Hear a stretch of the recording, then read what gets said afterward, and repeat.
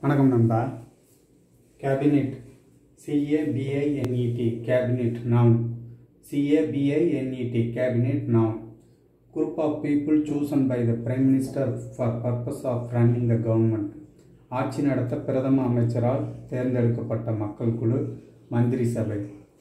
Furniture with a chest of drawers R cells இழுப்பறை பெட்டி cabinet. ரெண்டு அர்த்தம் இருக்கு நண்பா. மந்திரி சபை பாராளுமன்றம்.